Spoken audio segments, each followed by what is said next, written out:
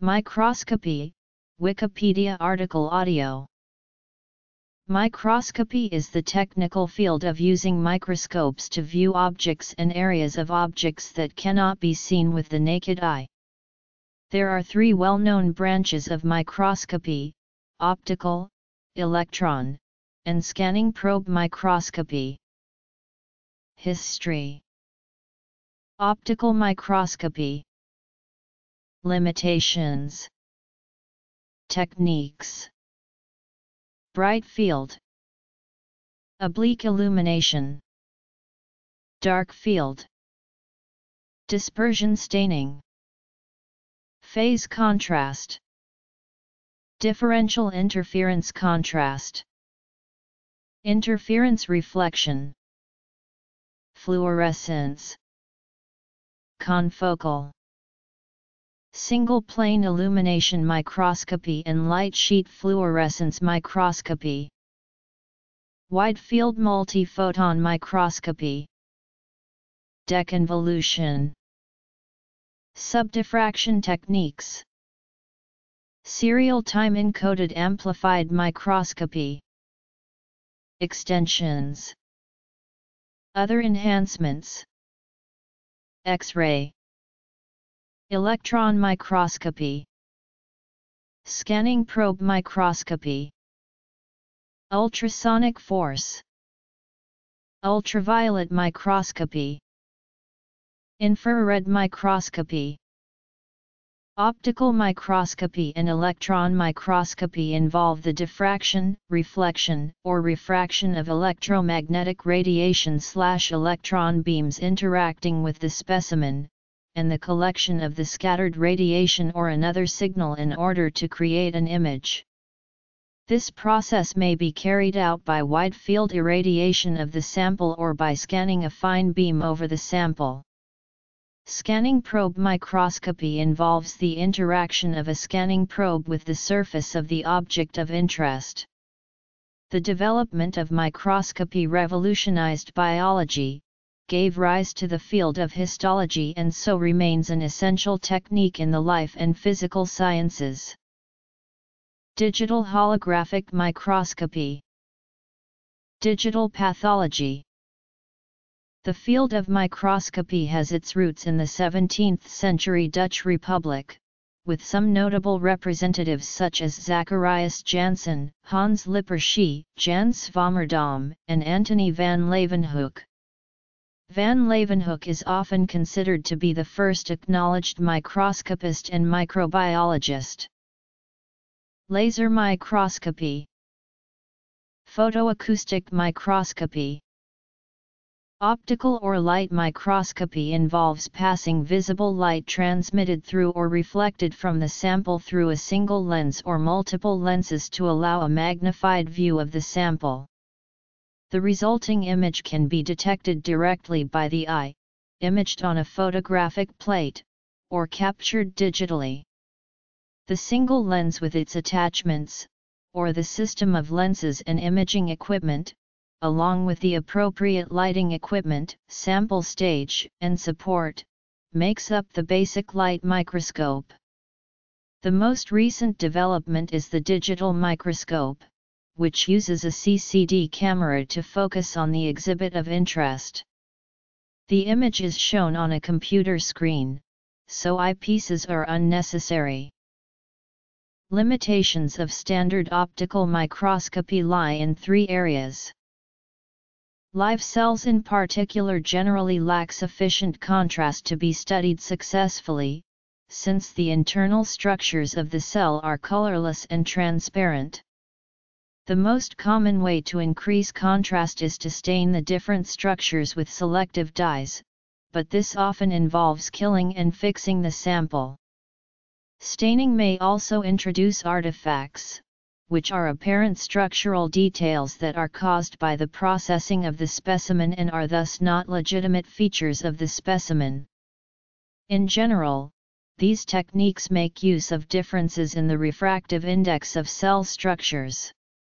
It is comparable to looking through a glass window, you don't see the glass but merely the dirt on the glass. There is a difference, as glass is a denser material, and this creates a difference in phase of the light passing through. The human eye is not sensitive to this difference in phase, but clever optical solutions have been devised to change this difference in phase into a difference in amplitude. In order to improve specimen contrast or highlight certain structures in a sample, special techniques must be used. A huge selection of microscopy techniques are available to increase contrast or label a sample. Bright field illumination, sample contrast comes from absorbance of light in the sample. Cross-polarized light illumination, sample contrast comes from rotation of polarized light through the sample. Dark field illumination, sample contrast comes from light scattered by the sample. Phase contrast illumination, sample contrast comes from interference of different path lengths of light through the sample. Bright field microscopy is the simplest of all the light microscopy techniques. Sample illumination is via transmitted white light, i.e. illuminated from below and observed from above. Limitations include low contrast of most biological samples and low apparent resolution due to the blur of out-of-focus material. The simplicity of the technique and the minimal sample preparation required are significant advantages. The use of oblique illumination gives the image a three-dimensional appearance and can highlight otherwise invisible features. A more recent technique based on this method is Hoffman's modulation contrast, a system found on inverted microscopes for use in cell culture. Oblique illumination suffers from the same limitations as bright field microscopy. Dark field microscopy is a technique for improving the contrast of unstained, transparent specimens. Dark field illumination uses a carefully aligned light source to minimize the quantity of directly transmitted light entering the image plane, collecting only the light scattered by the sample. Dark field can dramatically improve image contrast especially of transparent objects while requiring little equipment setup or sample preparation. However, the technique suffers from low light intensity in final image of many biological samples and continues to be affected by low apparent resolution. Rheinberg illumination is a special variant of dark field illumination in which transparent, colored filters are inserted just before the condenser so that light rays at high aperture are differently colored than those at low aperture. Other color combinations are possible, but their effectiveness is quite variable. Dispersion staining is an optical technique that results in a colored image of a colorless object. This is an optical staining technique and requires no stains or dyes to produce a color effect. There are five different microscope configurations used in the broader technique of dispersion staining. They include bright field Becke line, oblique, dark field, phase contrast, and objective stop dispersion staining. More sophisticated techniques will show proportional differences in optical density. Phase contrast is a widely used technique that shows differences in refractive index as difference in contrast. It was developed by the Dutch physicist Fritz Zernike in the 1930s. The nucleus in a cell for example will show up darkly against the surrounding cytoplasm. Contrast is excellent, however it is not for use with thick objects. Frequently, a halo is formed even around small objects, which obscures detail. The system consists of a circular annulus in the condenser, which produces a cone of light. This cone is superimposed on a similar sized ring within the phase objective. Every objective has a different size ring, so for every objective another condenser setting has to be chosen. The ring in the objective has special optical properties, it, first of all, reduces the direct light in intensity, but more importantly, it creates an artificial phase difference of about a quarter wavelength. As the physical properties of this direct light have changed, interference with the diffracted light occurs, resulting in the phase contrast image. One disadvantage of phase contrast microscopy is halo formation. Superior and much more expensive is the use of interference contrast. Differences in optical density will show up as differences in relief.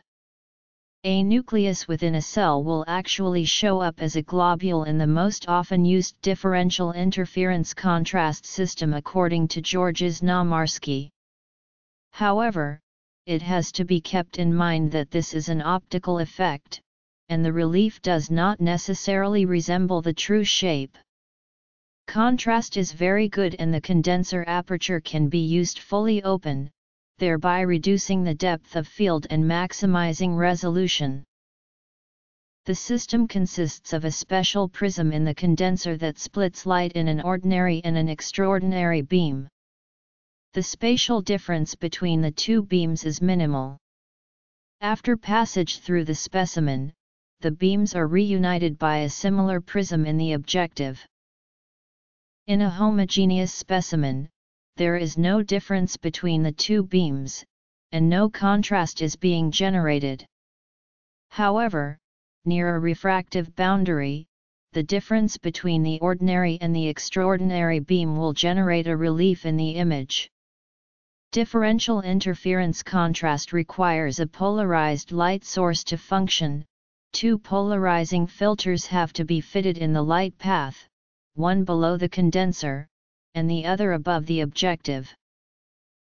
Note, in cases where the optical design of a microscope produces an appreciable lateral separation of the two beams we have the case of classical interference microscopy, which does not result in relief images, but can nevertheless be used for the quantitative determination of mass thicknesses of microscopic objects.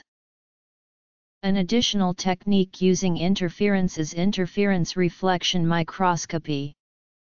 It relies on cell adhesion to the slide to produce an interference signal. If there is no cell attached to the glass, there will be no interference. Interference reflection microscopy can be obtained by using the same elements used by Dick, but without the prisms. Also, the light that is being detected is reflected and not transmitted as it is when Dick is employed. When certain compounds are illuminated with high energy light, they emit light of a lower frequency. This effect is known as fluorescence. Often specimens show their characteristic autofluorescence image, based on their chemical makeup. This method is of critical importance in the modern life sciences, as it can be extremely sensitive, allowing the detection of single molecules.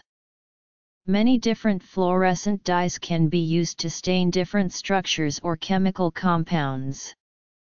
One particularly powerful method is the combination of antibodies coupled to a fluorophore as in immunostaining. Examples of commonly used fluorophores are fluorescein or rhodamine. The antibodies can be tailor-made for a chemical compound. For example, one strategy often in use is the artificial production of proteins, based on the genetic code. These proteins can then be used to immunize rabbits, forming antibodies which bind to the protein. The antibodies are then coupled chemically to a fluorophore and used to trace the proteins in the cells under study. Highly efficient fluorescent proteins such as the green fluorescent protein have been developed using the molecular biology technique of gene fusion, a process that links the expression of the fluorescent compound to that of the target protein. This combined fluorescent protein is, in general, non-toxic to the organism and rarely interferes with the function of the protein under study. Genetically modified cells or organisms directly express the fluorescently tagged proteins, which enables the study of the function of the original protein in vivo. Growth of protein crystals results in both protein and salt crystals. Both are colorless and microscopic. Recovery of the protein crystals requires imaging which can be done by the intrinsic fluorescence of the protein or by using transmission microscopy. Both methods require an ultraviolet microscope as protein absorbs light at 280 nm. Protein will also fluorescence at approximately 353 nm when excited with 280 nm light. Since fluorescence emission differs in wavelength from the excitation light, an ideal fluorescent image shows only the structure of interest that was labeled with the fluorescent dye. This high specificity led to the widespread use of fluorescence light microscopy in biomedical research. Different fluorescent dyes can be used to stain different biological structures, which can then be detected simultaneously, while still being specific due to the individual color of the dye. To block the excitation light from reaching the observer or the detector, filter sets of high quality are needed. These typically consist of an excitation filter selecting the range of excitation wavelengths, a dichroic mirror, and an emission filter blocking the excitation light. Most fluorescence microscopes are operated in the epi illumination mode to further decrease the amount of excitation light entering the detector. This technique can only image dark or strongly refracting objects effectively, diffraction limits resolution to approximately 0.2 micrometers. This limits the practical magnification limit to 1500x. Out of focus light from points outside the focal plane reduces image clarity. Amateur microscopy. Application in forensic science. General. Techniques 2 Transmission electron microscopy is quite similar to the compound light microscope, by sending an electron beam through a very thin slice of the specimen. The resolution limit in 2005 was around 0.05 nanometer and has not increased appreciably since that time. Scanning electron microscopy visualizes details on the surfaces of specimens and gives a very nice 3D view. It gives results much like those of the stereo light microscope. The best resolution for SEM in 2011 was 0.4 nanometer. An example of fluorescence microscopy today is two-photon or multi-photon imaging. Two-photon imaging allows imaging of living tissues up to a very high depth by enabling greater excitation light penetration and reduced background emission signal. See also, Total Internal Reflection Fluorescence Microscope Neuroscience Confocal microscopy uses a scanning point of light and a pinhole to prevent out-of-focus light from reaching the detector. Compared to full sample illumination, confocal microscopy gives slightly higher resolution, and significantly improves optical sectioning. Confocal microscopy is, therefore, commonly used where 3D structure is important. Using a plane of light formed by focusing light through a cylindrical lens at a narrow angle or by scanning a line of light in a plane perpendicular to the axis of objective, high-resolution optical sections can be taken. Single plane illumination, or light sheet illumination, is also accomplished using beam shaping techniques incorporating multiple prism beam expanders. The images are captured by CCDs. These variants allow very fast and high signal-to-noise ratio image capture. Wide-field multi-photon microscopy refers to an optical nonlinear imaging technique tailored for ultra-fast imaging in which a large area of the object is illuminated and imaged without the need for scanning. High intensities are required to induce nonlinear optical processes such as two-photon fluorescence or second harmonic generation. In scanning multi-photon microscopes the high intensities are achieved by tightly focusing the light, and the image is obtained by stage or beam scanning the sample. In wide-field multi-photon microscopy the high intensities are best achieved using an optically amplified pulsed laser source to attain a large field of view. The image in this case is obtained as a single frame with a CCD without the need of scanning, making the technique particularly useful to visualize dynamic processes simultaneously across the object of interest. With wide-field multi-photon microscopy the frame rate can be increased up to a 1000-fold compared to multi-photon scanning microscopy. Fluorescence microscopy is a powerful technique to show specifically labeled structures within a complex environment and to provide three-dimensional information of biological structures. However, this information is blurred by the fact that, upon illumination, all fluorescently labeled structures emit light, irrespective of whether they are in focus or not so an image of a certain structure is always blurred by the contribution of light from structures that are out of focus. This phenomenon results in a loss of contrast especially when using objectives with a high resolving power, typically oil immersion objectives with a high numerical aperture. However, blurring is not caused by random processes, such as light scattering, but can be well defined by the optical properties of the image formation in the microscope imaging system. If one considers a small fluorescent light source, light coming from this spot spreads out further from our perspective as the spot becomes more out of focus. Under ideal conditions, this produces an hourglass shape of this point source in the third dimension. This shape is called the point spread function of the microscope imaging system. Since any fluorescence image is made up of a large number of such small fluorescent light sources, the image is said to be convolved by the point spread function. The mathematically modeled PSF of a terahertz laser pulsed imaging system is shown on the right.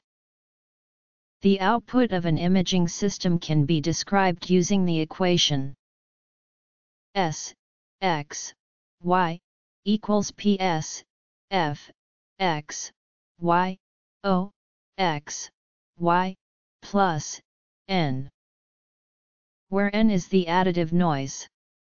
Knowing this point spread function means that it is possible to reverse this process to a certain extent by computer-based methods commonly known as deconvolution microscopy.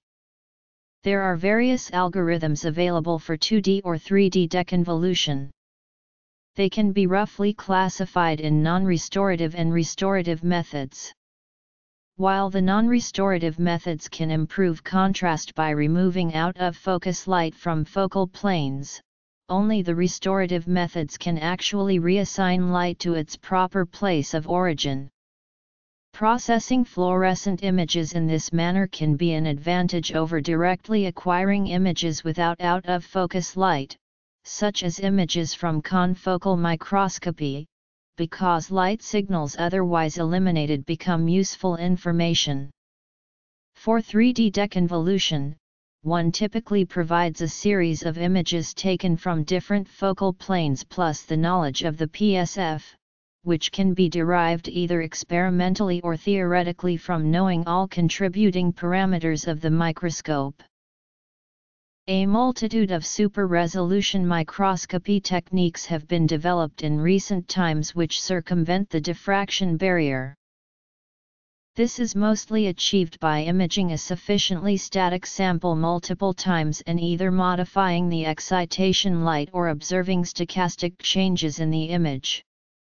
The deconvolution methods described in the previous section, which removes the PSF-induced blur and assigns a mathematically correct origin of light, are used, albeit with slightly different understanding of what the value of a pixel mean. Assuming most of the time, one single fluorophore contributes to one single blob on one single taken image, the blobs in the images can be replaced with their calculated position, vastly improving resolution to well below the diffraction limit. To realize such assumption, knowledge of and chemical control over fluorophore photophysics is at the core of these techniques, by which resolutions of 20 nanometers are regularly obtained. Serial time encoded amplified microscopy is an imaging method that provides ultra-fast shutter speed and frame rate, by using optical image amplification to circumvent the fundamental trade-off between sensitivity and speed, and a single pixel photodetector to eliminate the need for a detector array and readout time limitations the method is at least 1000 times faster than the state-of-the-art CCD and CMOS cameras.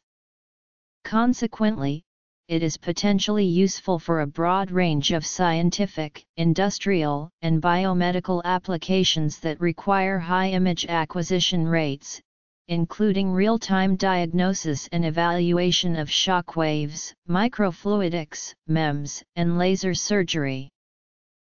Most modern instruments provide simple solutions for microphotography and image recording electronically. However such capabilities are not always present and the more experienced microscopist will, in many cases, still prefer a hand-drawn image to a photograph. This is because a microscopist with knowledge of the subject can accurately convert a three-dimensional image into a precise two-dimensional drawing. In a photograph or other image capture system however, only one thin plane is ever in good focus. The creation of careful and accurate micrographs requires a microscopical technique using a monocular eyepiece. It is essential that both eyes are open and that the eye that is not observing down the microscope is instead concentrated on a sheet of paper on the bench besides the microscope.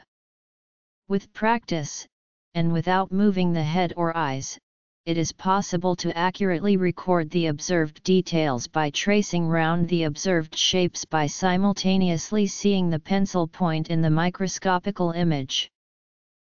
Practicing this technique also establishes good general microscopical technique.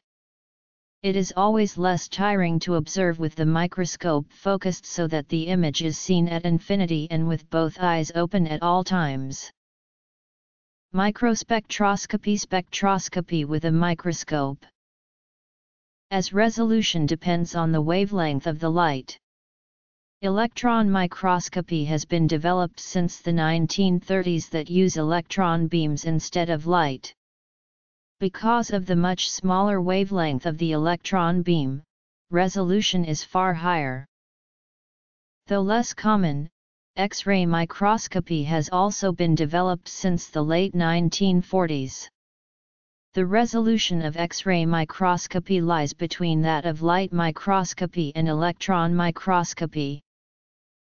Until the invention of subdiffraction microscopy, the wavelength of the light limited the resolution of traditional microscopy to around 0.2 micrometers. In order to gain higher resolution, the use of an electron beam with a far smaller wavelength is used in electron microscopes. Electron microscopes equipped for X-ray spectroscopy can provide qualitative and quantitative elemental analysis. This is a subdiffraction technique. Examples of scanning probe microscopes are the atomic force microscope, the scanning tunneling microscope, the photonic force microscope and the recurrence tracking microscope. All such methods use the physical contact of a solid probe tip to scan the surface of an object, which is supposed to be almost flat. Ultrasonic force microscopy has been developed in order to improve the details and image contrast on flat areas of interest where AFM images are limited in contrast. The combination of AFM-UFM allows a near-field acoustic microscopic image to be generated. The AFM tip is used to detect the ultrasonic waves and overcomes the limitation of wavelength that occurs in acoustic microscopy. By using the elastic changes under the AFM tip, an image of much greater detail than the AFM topography can be generated. Ultrasonic force microscopy allows the local mapping of elasticity in atomic force microscopy by the application of ultrasonic vibration to the cantilever or sample. In an attempt to analyze the results of ultrasonic force microscopy in a quantitative fashion, a force distance curve measurement is done with ultrasonic vibration applied to the cantilever base, and the results are compared with a model of the cantilever dynamics and tip sample interaction based on the finite difference technique. Ultraviolet microscopes have two main purposes. The first is to utilize the shorter wavelength of ultraviolet electromagnetic energy to improve the image resolution beyond that of the diffraction limit of standard optical microscopes. This technique is used for non-destructive inspection of devices with very small features such as those found in modern semiconductors. The second application for UV microscopes is contrast enhancement where the response of individual samples is enhanced, relative to their surrounding, due to the interaction of light with the molecules within the sample itself. One example is in the growth of protein crystals. Protein crystals are formed in salt solutions. As salt and protein crystals are both formed in the growth process, and both are commonly transparent to the human eye, they cannot be differentiated with a standard optical microscope. As the tryptophan of protein absorbs light at 280 nm, imaging with a UV microscope with 280 nm bandpass filters makes it simple to differentiate between the two types of crystals. The protein crystals appear dark while the salt crystals are transparent. The term infrared microscopy refers to microscopy performed at infrared wavelengths. In the typical instrument configuration a Fourier transform infrared spectrometer is combined with an optical microscope and an infrared detector. The infrared detector can be a single point detector, a linear array or a 2D focal plane array. The FTIR provides the ability to perform chemical analysis via infrared spectroscopy and the microscope and point or array detector enable this chemical analysis to be spatially resolved, i.e. performed at different regions of the sample. As such, the technique is also called infrared microspectroscopy. This technique is frequently used for infrared chemical imaging, where the image contrast is determined by the response of individual sample regions to particular IR wavelengths selected by the user, usually specific IR absorption bands and associated molecular resonances. A key limitation of conventional infrared microspectroscopy is that the spatial resolution is diffraction limited. Specifically the spatial resolution is limited to a figure related to the wavelength of the light. For practical IR microscopes, the spatial resolution is limited to 1-3x the wavelength, depending on the specific technique and instrument used. For mid-IR wavelengths, this sets a practical spatial resolution limit of 330 μm. IR versions of subdiffraction microscopy also exist. These include IRNSOM, photothermal microspectroscopy, and atomic force microscope-based infrared spectroscopy. In digital holographic microscopy, interfering wave fronts from a coherent light source are recorded on a sensor. The image is digitally reconstructed by a computer from the recorded hologram. Besides the ordinary bright field image, a phase shift image is created. DHM can operate both in reflection and transmission mode. In reflection mode, the phase shift image provides a relative distance measurement and thus represents a topography map of the reflecting surface. In transmission mode, the phase shift image provides a label-free quantitative measurement of the optical thickness of the specimen. Phase shift images of biological cells are very similar to images of stained cells and have successfully been analyzed by high-content analysis software. A unique feature of DHM is the ability to adjust focus after the image is recorded, since all focus planes are recorded simultaneously by the hologram. This feature makes it possible to image moving particles in a volume or to rapidly scan a surface. Another attractive feature is DHM's ability to use low-cost optics by correcting optical aberrations by software. Digital pathology is an image-based information environment enabled by computer technology that allows for the management of information generated from a digital slide. Digital pathology is enabled in part by virtual microscopy, which is the practice of converting glass slides into digital slides that can be viewed, managed, and analyzed. Laser microscopy is a rapidly growing field that uses laser illumination sources in various forms of microscopy. For instance, laser microscopy focused on biological applications uses ultra-short pulse lasers, in a number of techniques labeled as nonlinear microscopy, saturation microscopy, and two-photon excitation microscopy. High-intensity, short-pulse laboratory X-ray lasers have been under development for several years. When this technology comes to fruition, it will be possible to obtain magnified three-dimensional images of elementary biological structures in the living state at a precisely defined instant. For optimum contrast between water and protein and for best sensitivity and resolution, the laser should be tuned near the nitrogen line at about 0.3 nanometers. Resolution will be limited mainly by the hydrodynamic expansion that occurs while the necessary number of photons is being registered. Thus, while the specimen is destroyed by the exposure, its configuration can be captured before it explodes. Scientists have been working on practical designs and prototypes for X-ray holographic microscopes, despite the prolonged development of the appropriate laser. A microscopy technique relying on the photoacoustic effect, i.e. the generation of sound caused by light absorption. A focused and intensity modulated laser beam is raster scanned over a sample. The generated sound is detected via an ultrasound transducer. Commonly, piezoelectric ultrasound transducers are employed. The image contrast is related to the sample's absorption coefficient, alpha. This is in contrast to bright or dark field microscopy, where the image contrast is due to transmittance or scattering.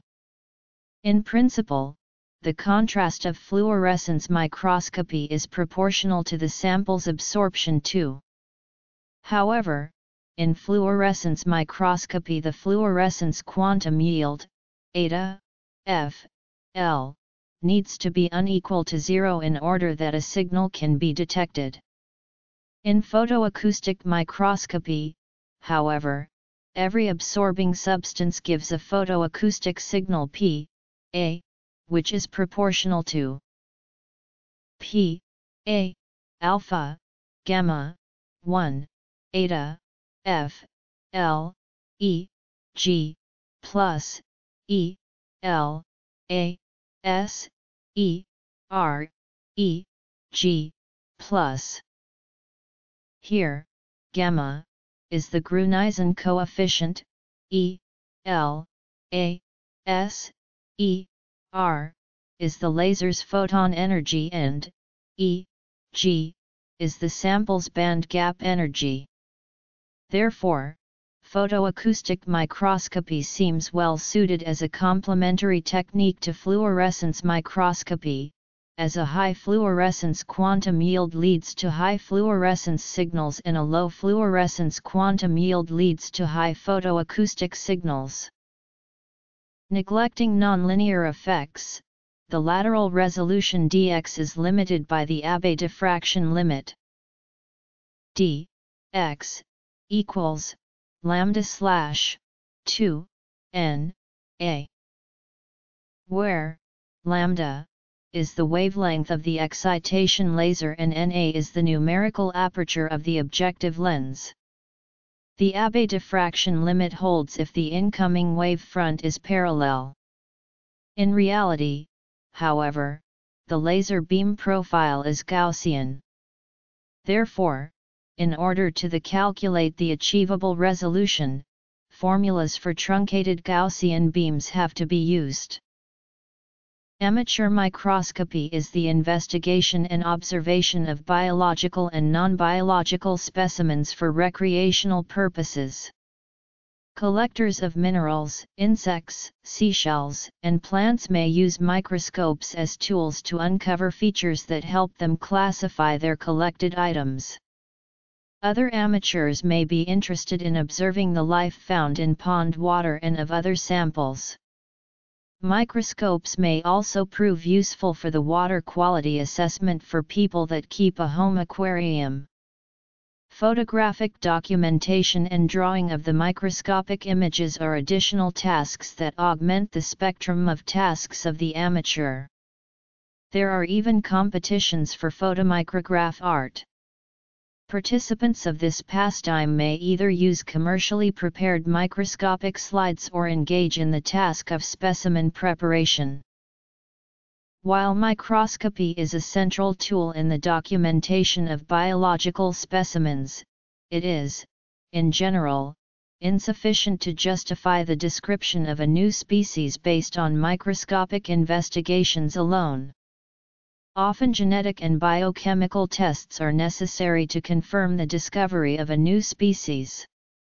A laboratory and access to academic literature is a necessity, which is specialized and, in general, not available to amateurs. There is, however, one huge advantage that amateurs have above professionals, time to explore their surroundings. Often, advanced amateurs team up with professionals to validate their findings and describe new species. In the late 1800s, amateur microscopy became a popular hobby in the United States and Europe. Several professional amateurs were being paid for their sampling trips and microscopic explorations by philanthropists, to keep them amused on the Sunday afternoon a Belgian industrialist. Professor John Phin published practical hints on the selection and use of the microscope, and was also the editor of the American Journal of Microscopy. Examples of amateur microscopy images. House bee mouth 100X Rice stem CS400X Rabbit testis 100X Fern Prothallium 400X Microscopy has many applications in the forensic sciences, it provides precision, quality, accuracy, and reproducibility of results. These applications are almost limitless. This is due to the ability of microscope to detect, resolve, and image the smallest items of evidence, often without any alteration or destruction. The microscope is used to identify and compare fibers, hairs, soils, and dust, etc. The aim of any microscope is to magnify images or photos of a small object and to see fine details. In forensic, the type of specimen, the information one wishes to obtain from it and the type of microscope chosen for the task will determine if the sample preparation is required. For example, ink lines, blood stains, or bullets, no treatment is required and the evidence shows directly from appropriate microscope without any form of sample preparation, but for traces of particular matter, the sample preparation must be done before microscopical examination occurs. A variety of microscopes are used in forensic science laboratory. The light microscopes are the most used in forensic and these microscopes use photons to form images for, these microscopes which are most applicable for examining forensic specimens as mentioned before are as follows. 1. The compound microscope. 2. The comparison microscope. 3. The stereoscopic microscope. 4. The polarizing microscope. 5. The microspectrophotometer. Other completely different approach to microscopy is electron microscope, which gives a beam of electrons in order to be focused onto the desired specimen with a design capable of giving a magnifying power up to 100,000 times. Six electron microscopes are also used but very little when compared to light microscopes. Transmission electron microscope is more difficult to use and requires more sample preparation than scanning electron microscope and thus have found very few applications in forensic science. This diversity of the types of microscopes in forensic applications comes mainly from their magnification ranges, which are and for the optical microscopy, SEM, and TEM respectively.